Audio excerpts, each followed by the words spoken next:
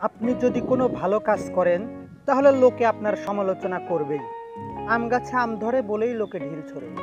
ফজলি আম গাছে আরও বেশি ঢিল ছোড়ে। শেওড়া গাছে কেউ ভুলেও ঢিল ছোড়ে না।